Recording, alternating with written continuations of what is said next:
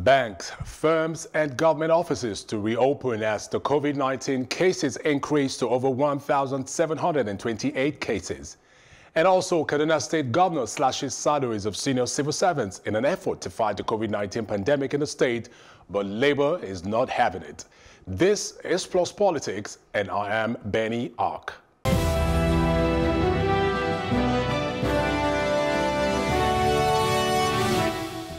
It seems the cases of COVID-19 in Nigeria is not slowing down anytime soon, as Nigeria has recorded 196 cases in just one day, and now the number of cases stands at 1,728.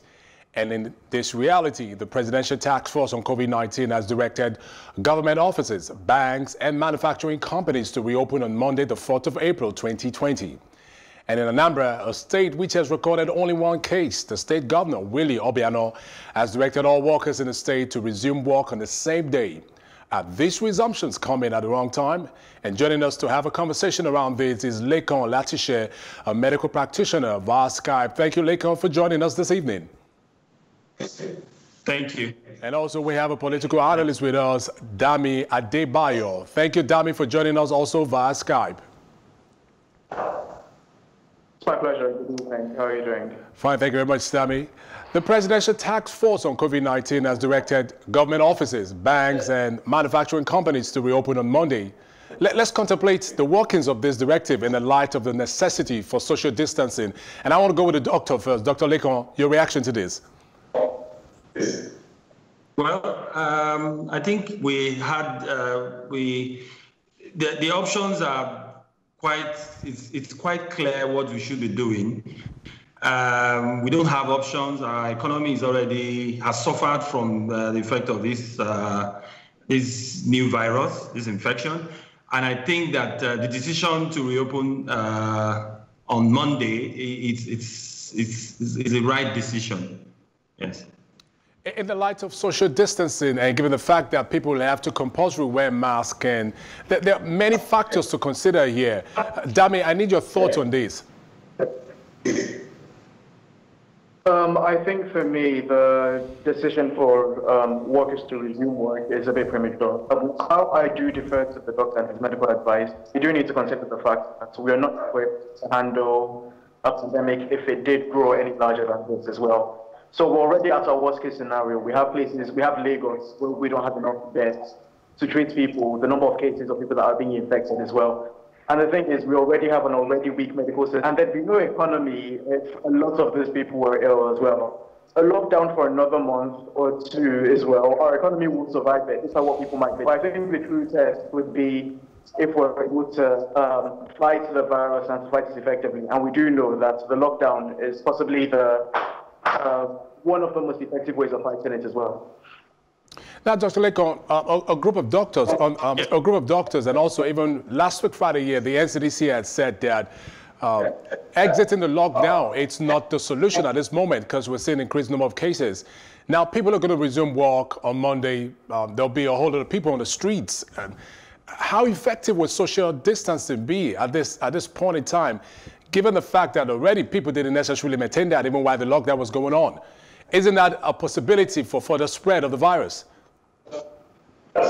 Oh yes, like um, like I said uh, before, we would definitely see uh, a rise in the cases uh, that we are going to have.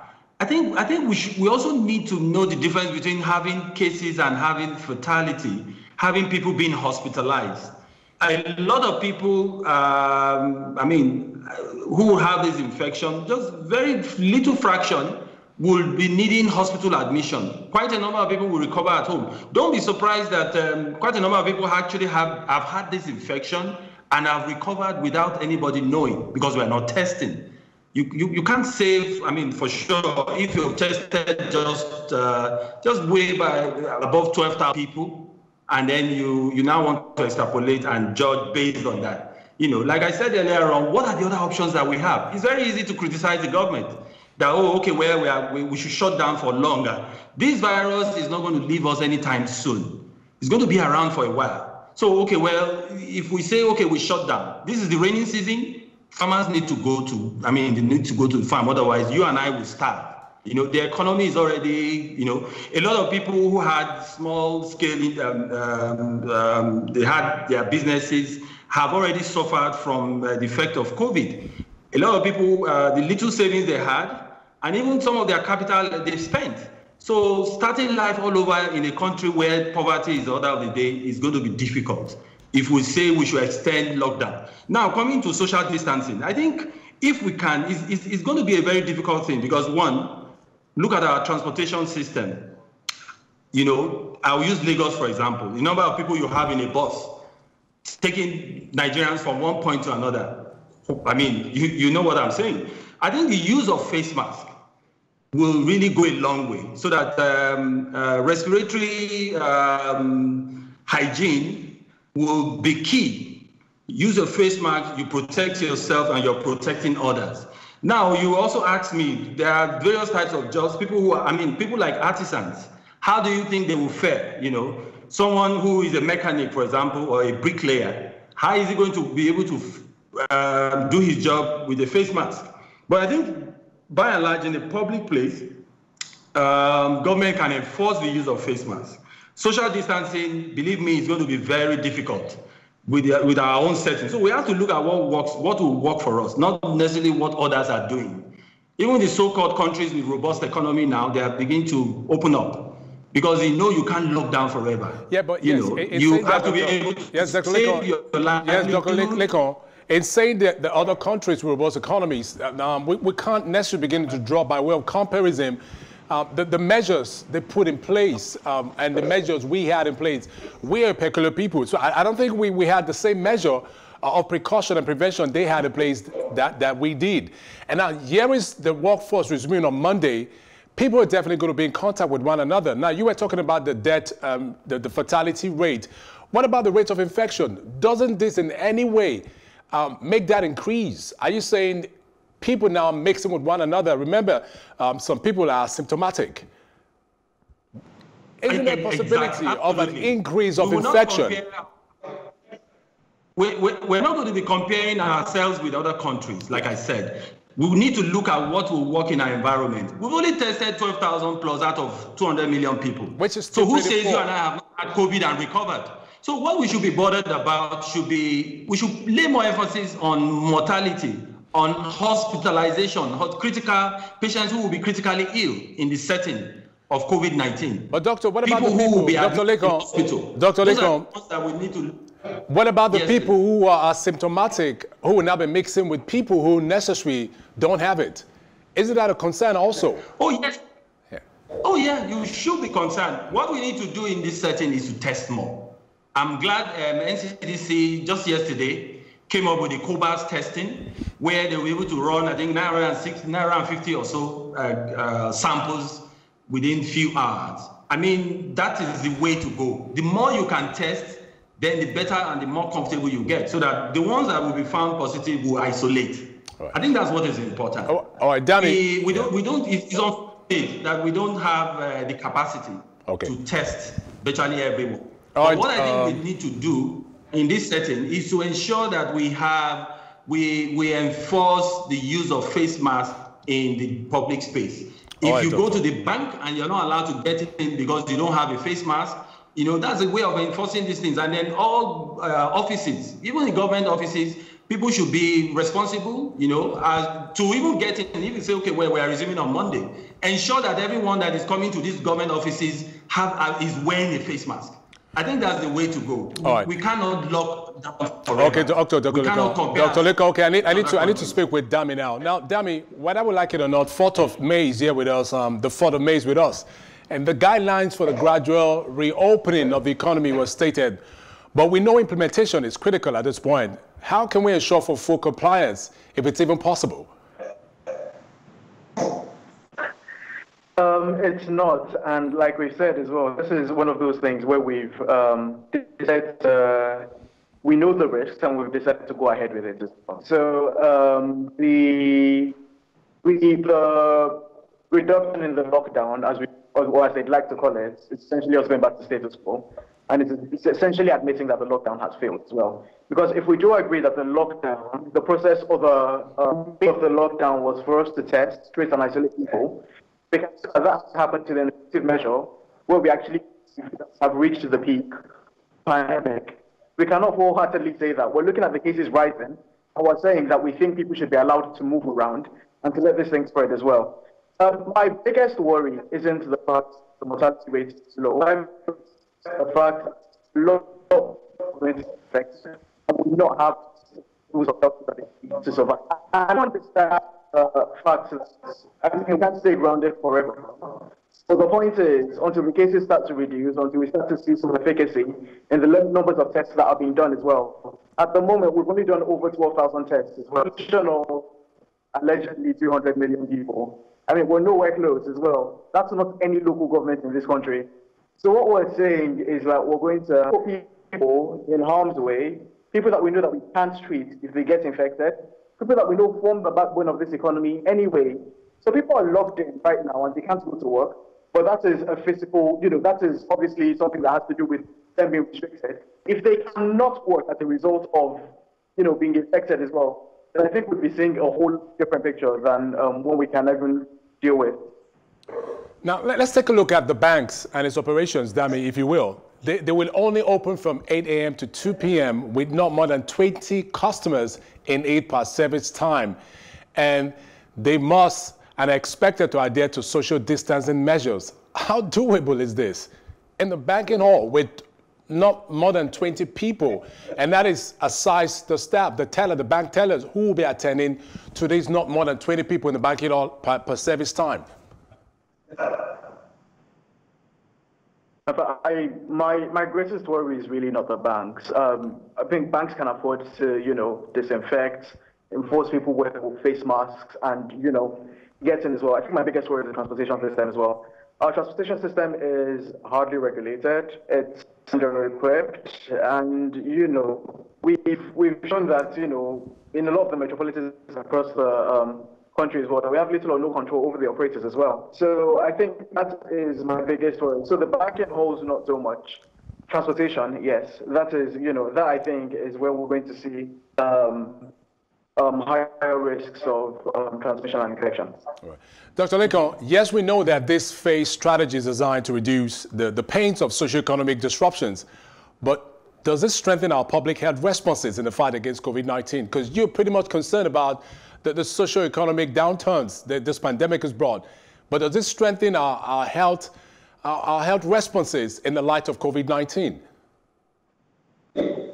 Oh, yes. Um, let me say this. Uh, um, I mean, my my friend over there has said something very important. Transportation. That's where the problem will be. But let us also also remember that um, we are seeing more cases because we are doing more testing. We're increasing our capacity to test.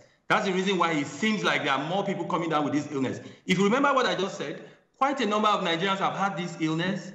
They've had the infection and they've recovered from it without anybody knowing. Community spread did not start now. It started way back. The period when we got it wrong was when we allowed Nigerians in the diaspora to come back without uh, necessarily asking them to go on, uh, I mean, isolating them from the society. That is where we got this thing wrong. If we had sat down, done our homework well, make sure that uh, we, the government identifies two, three hotels in close to our airports, in the country, Lagos, um, Lagos, Abuja, uh, Port Harcourt, and I think Kano. These are the international airports that we have. The moment Nigerians are coming in, you pick them up from, with coastal buses straight to the hotel, isolate them for 14 days. NCDC is testing, and then the ones that are fine, you let them reunite with their family. We will not be in this situation. So that was where we got it wrong. But at this time, we are seeing more cases because we are doing more testing when this whole thing started and uh, we had the capacity to test was so so poor now we're improving it we're testing more patient um, more more nigerians on daily basis and so we are it now looks like we are, we are having more cases believe me even the so-called lockdown that we had was that really a lockdown Dr. Where Lekan. you allow people to Dr. Lekan. market on certain days? Yeah, Dr. Lekan, hold, it, hold your thoughts right there. Dr. Lekan, please hold your thoughts right there. I want to take you on a statement you, you've made twice now that prior to, to the emergence of COVID-19, that many people have had COVID, have, have had this virus, and they got cured without knowing it. What exactly are you, are you saying here? What I'm saying is that because we are not testing, perhaps a lot of us may have had this. We have had COVID-19 infection. We were, we were not symptomatic. And so we recovered from it because we didn't test. It was the moment when without, without any treatment, without any treatment, without any treatment, without any treatment, you know, without any treatment, you know, I mean, it's not so so much different from the flu that everyone has. You know, some people will even be symptoms. I mean, you had no symptoms. So let's face it. Um, we got it all wrong at the moment where we didn't um, make sure that everyone goes into isolation or you quarantine people coming in from uh, the diaspora. People coming back, Nigerians coming back into the country, at that point, we should have had some level of uh, quarantine. We allowed them going back into the society. Were, everyone went back to join his family. They got reunited with their family, and, and so that's why we are seeing uh, the, I mean, the number of cases that we, we've had. Um, I, am not surprised that this has happened because um, we, we didn't, we, that was where we got it wrong. Right. We should have um, isolated Nigerians who came back. Okay. Uh, All right, Dr. Um, Dr. Lekan, quickly, I need your reaction to this before I go over to Dami. Doctors under the aegis of Medical Guild have warned against easing the lockdown, saying it will lead to more exposures and surge in COVID-19 pandemic infection. Now, these are your own people saying this. I need, I need your quick reaction to this. Yeah, my, my reaction to it is um, that, okay, if you don't, if, which other option do we have? We keep, I mean, we continue with the lockdown. For how long do we intend to do that? You know, the virus is going to be with us for a, a very reasonable length of time. Let's come to face it.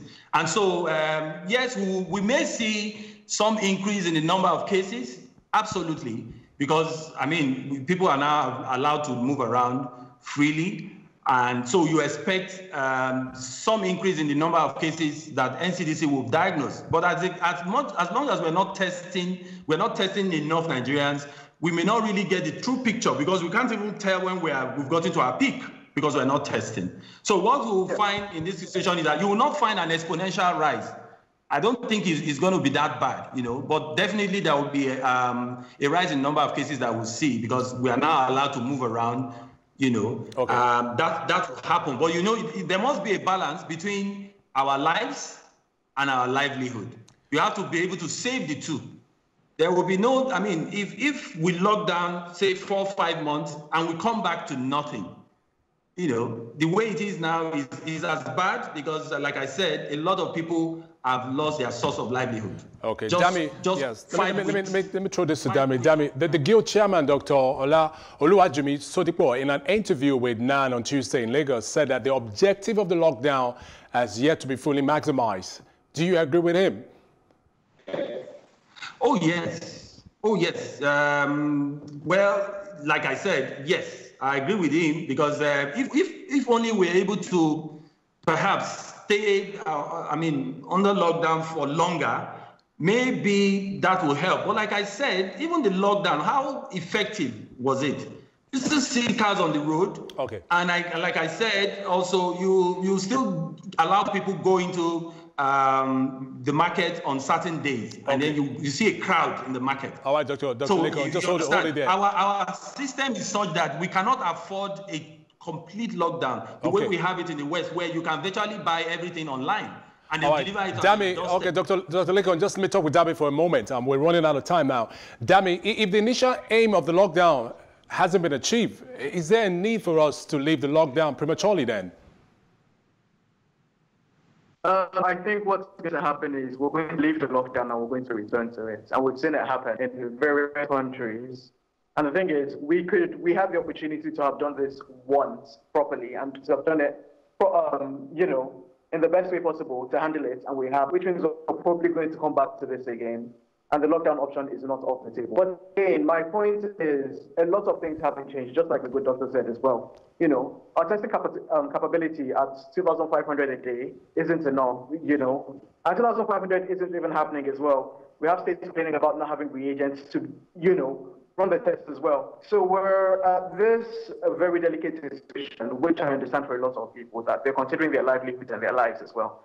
Um, and that, you know, a lot of people have lost their livelihoods over this thing, and I understand and I empathize as well. But the thing is, we're probably still going to have to come back to this, you know, and we'll still deal with the same problems that people are complaining about now as well.